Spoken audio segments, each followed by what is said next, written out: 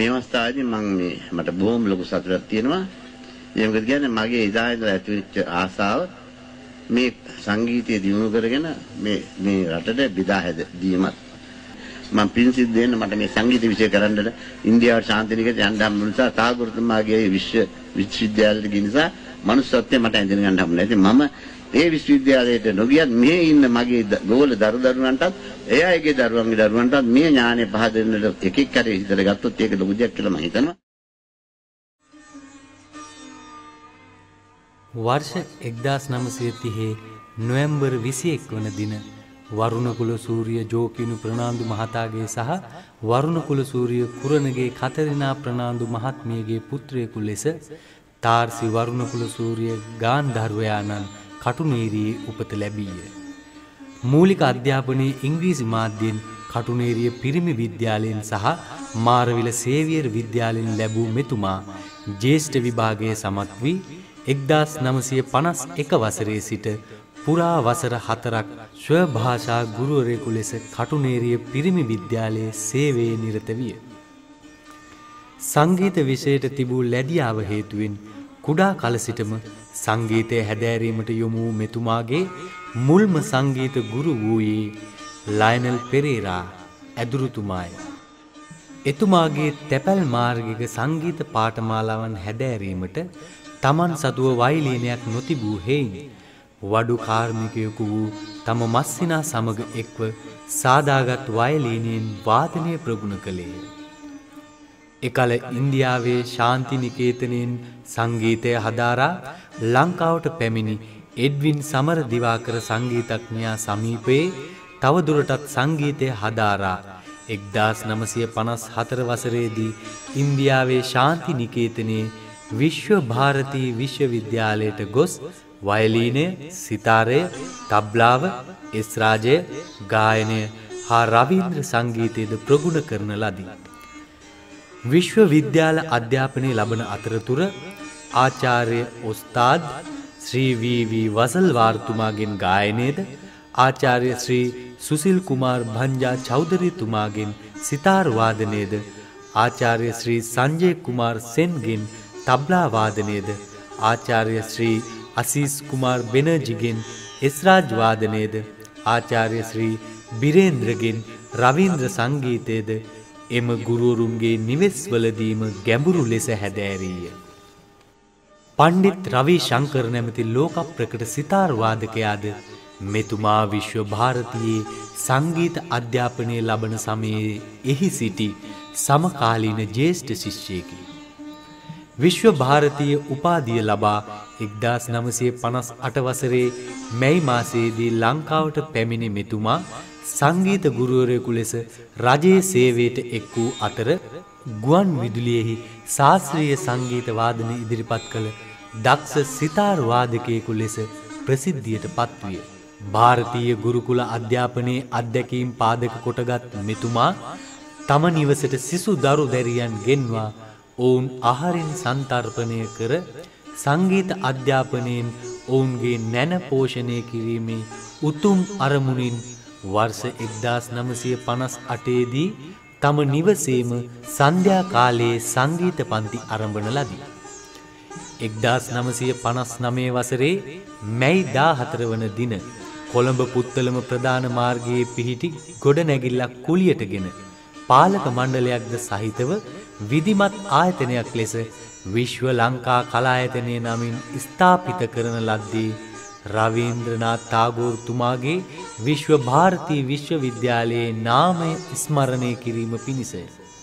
විශ්ව භාරතී විශ්වවිද්‍යාලය මෙන් සියලුම සෞන්දර්ය අංශයන්ගෙන් පරිපූර්ණ කලායතනයක් ලෙස විශ්ව ලංකා කලායතනය ප්‍රවර්ධනය කිරීමේ මහඟු චේතනාව නිසා සංගීත නැටුම් චිත්‍ර හා නාට්‍යකරණය පිළිබඳ අධ්‍යාපනික වැඩසටහන් එහිදී ක්‍රියාත්මක කරන ලදී. සංගීත නැටුම් චිත්‍ර යන විෂයන් සඳහා අපොස සාමාන්‍ය පෙළ උසස් පෙළ විභාග මෙන්ම ගාන්ධාරව විභාග හා රජයේ සංගීත විද්‍යාලයේ බාහිර උපාධි සඳහා මූලික අධ්‍යාපන පාඨමාලාවන් ආරම්භ කළ මෙම ආයතනය ජාතික සංගීත විභාග සහ බාත් ඛණ්ඩේ විද්‍යාපීඨ ගායන වාදන විශාරද විභාග දක්වා අධ්‍යාපන පාඨමාලා තව දුරටත් පුළුල් කරන ලදී. එක්දාස් නමසය හැට එක වසරේ සිට විශ්ව ලංකා කලාඇතනය මගින් නිෂ්පාදනය කෙරුණු තාත්වික නාට්‍ය හා මුද්‍රා නාට්‍ය පාසල් හා විවිධ ආයතනවලට ආධාර වශයෙන් ප්‍රදර්ශනය කර එමගින් පාසල්වල අධ්‍යාපන කටයුතු නගා සිටුවීම සඳහා මූල්‍යමය සහයෝගයන් ලබාදීමට විශ්ව ලංකා කලා එතනයට හැකිවිය. එපමණක් නොව. හලාවත පුත්තලම අධ්‍යාපන ප්‍රදේශයේ විදුහල්පතිවරුන් හා සාමාන්‍ය ගුරුවරුන්ට දේශීය සංගීතය හා ශාස්ත්‍රීය සංගීතය පිළිබඳ උසස් දැනුමක් ලබාදීම සඳහා කලා එතනය මගින් නොමිලේ සංගීත පුහුණු පාඨමාලා පවත්වා විභාග සමත් වූවන් හට වාර්ෂිකව අධ්‍යාපන අමාත්‍යංශයේ ලේකම්තුමාගේ අත්සනින් යුතු සහතික පතක්ද පිරිනැමීමට කටයුතු කරන ලදී. එමෙන්ම එතෙක් බටහිර ආරයට පල්ලියේ පැවති ආගමික වතාවත් සඳහා දේශීය සංස්කෘතික අංග ඇතුළු කිරීම පිණිස මෙතුමා සුවිශේෂී මෙහෙයක් ඉටු කරන ලදී. එක්දාස් නමසය හැටේදී කට්ටිමහන දේවස්ථානයේ පැවති විවාහ මංගල්ලයකට පළමු වරට මගුල් බෙර වැයීම අරඹන ලදී. එක්දස් නමසය හැට හතරේදී කටුනේරිය දේවස්ථානයේදී මගුල් බෙර සක් හඬ සමග ජයමංගලගේ නාදයද මුසුකොට දේව මෙහේයන් සිදු කරන ලදී. එක්දස් නමසය හැට හයේදී කටුනේරිය දේවස්ථානයේ මංගල උත්සව සඳහා ගරු රෙක්ස් ඩයිස් පියතුමාගේ ඉල්ලීම පරිදි හලාවත රදගුරු එඩ්මන් පිරිස් හිමිපාණන් විසින් රචිත සම්පූර්ණ පූජාවම රාගධාරී සංගීතයෙන් ඔපවත් කර පෙරදික සංගීත භාණ්ඩයන්ගේ සුසංයෝගයෙන් ගායන ස්වරූපයෙන් පැවැත්වීම මෙතුමා විසින් කරන ලද සුවිශේෂී කාර්යයකි. පසුව එලෙස රාගධාරී ගායනා පූජාවන් රටේ බොහෝ ප්‍රදේශවල දේවස්ථාන ගණනාවකම පවත්වන ලදී. එපමණක් නොව. එකල ගුවන් විදුලිය මගින් විකාශනය වූ අබා කොස්තා පියතුමා විසින් ඉදිරිපත් කෙරුණු කතෝලික අඩපැය ගුවන් විදුලි වැඩ සටහන් සහ පාස්කු වැඩ සටහන් පද්‍ය රචනයෙන් හා රාගධාරී සංගීතයෙන් ඔපවත් කිරීමට මෙතුමා පුරෝගාමී විය. ඒ වන විට සිසු සුසිවියන් හතලිස් අට දෙනෙකුගෙන් යුත් වයලීන් සිතාර් එස්රාජ් තබ්ලා බටනලා ජලතරංග ෂනායි ආදී සංගීත භාණ්ඩයන්ගෙන් සුසැදී පෙරදිග වාද්‍ය වෘන්දයක් මෙතුමා විසින් පුහුණු කර එක්දාස් නමසය හැට හතර වසරේ ගුවන් විදුලි ආරාධිත වාදක මණ්ඩල සංග්‍රහය යටතේ සමූහවාදන ඉදිරිපත් කිරීමද මහඟු කාර්යකි. මෙතුමා එක්දස් නමසය හැත්තෑව වසරේ සිංහල චාරිත්‍රානුකූලව සිය මෑණියන්ගේ ආශිර්වාදයෙන් විවාහ දිවියට පත්විය. ගුරු සේවයේ නියැලී සිටියදී සංගීත පරීක්ෂක තනතුරක් ලැබූ එතුමා පළමුුව දකුණු පලාතේ ගාල්ල මාතර ප්‍රදේශභාර සංගීත පරීක්ෂකවරයා ලෙසද පසුව වයඹ පලාතේ හලාවත පුත්තලම ප්‍රදේශභාර සංගීත පරීක්ෂකවරයා ලෙසද සේවයේ නිරත විය.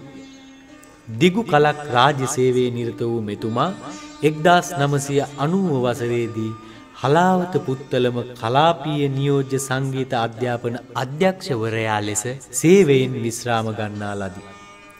මෙතුමා ලාංකීය කලාශේත්‍රයේ උන්නතිය උදෙසා ඉටු කරන ලද විශිෂ්ට සේවාවට උපහාරයක් ලෙස වර්ෂ එක්දාස් නමසය අනූ හතේදී සංස්කෘතික කටයුතු දෙපාර්තමේන්තුව මගින් පිරිනමන කලාභූෂණ සම්මානයෙන් පිදුම් ලැබීය. ආචාර්ය ශ්‍රී සුසිල් කුමාර් භංජා චෞදරී සහ එම පවුලේ අය මෙතුමා තම පවුලේ සාමාජිකයෙකු මෙන් සැලකූ හෙයින් චෞදරීතුමාගේ පුත් ආචාර්ය ශ්‍රී ප්‍රසන්ත කුමාර් භංජා ලංකාවට පැමිණි අවස්ථාවක මෙතුමා බැහැදැකීමට පවා පැමිණ ඇත. මෙතුමා කුලියපිටිය මධ්‍ය මහාවිද්‍යාලයේ සේවය කරන සමයේ මධ්‍යහන කාලයේ මානසික ඌනතාවයකින් පෙළුණු තරුණයකු හදිස්සියේ විද්‍යාලයට පැමිණි අවස්ථාවක අන් සිසුන්ගේ නොසන්සුන් බව මැඩලමින් තම සිතාරයෙන් තෝඩිරාගේ ගැඹුරු ආලාපවාදනය ශ්‍රවණයට සලස්වා ඔහුව නින්දකට පත්කරවීම මෙතුමා නාද විද්‍යාව පිළිබඳ පුළුල් රසක්නතාවය තුළින් මනස දියුණු කරගත් පුද්ගලයෙකු බව තහවුරු කරන්නකි.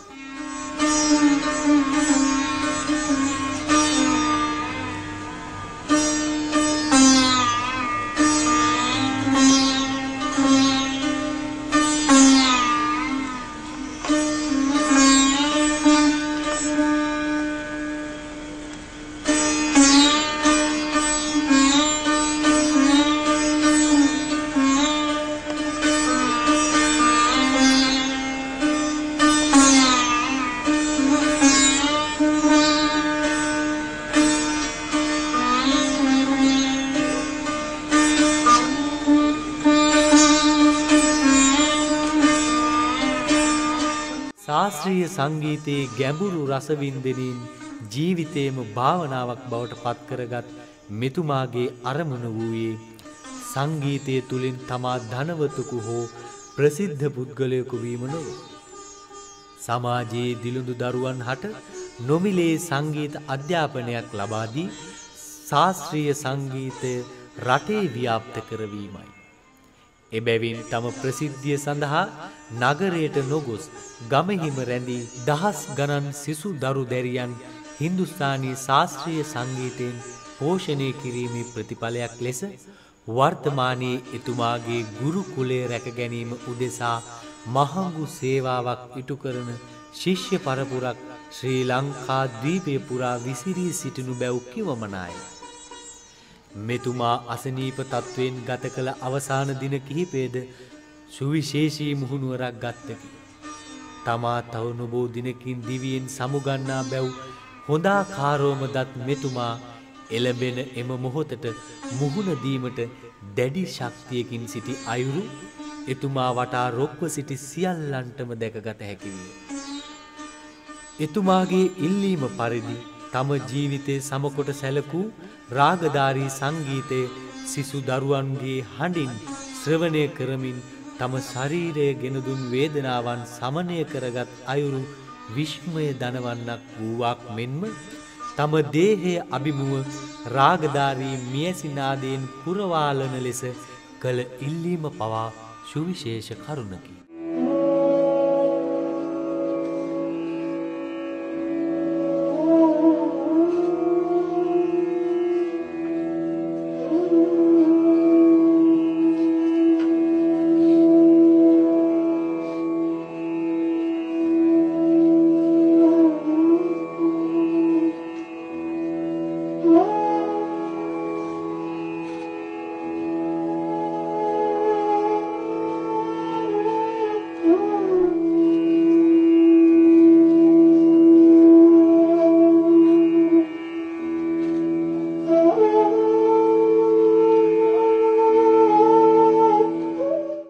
මියසිය දිවිකොටගත් මේ අපූරු යුගපුරුෂයාගේ හද පතුලෙහි ගැබ් වූ ඒ උතුම් සිතුවිල්ල එතුමාගේ වදනින්ම මෙසේ දක්වමින් එතුමා පිළිබඳව පෙළගැසුණු මතක සටහනෙහි සමාප්තිය මෙසේ සනිටුහන් කරමු.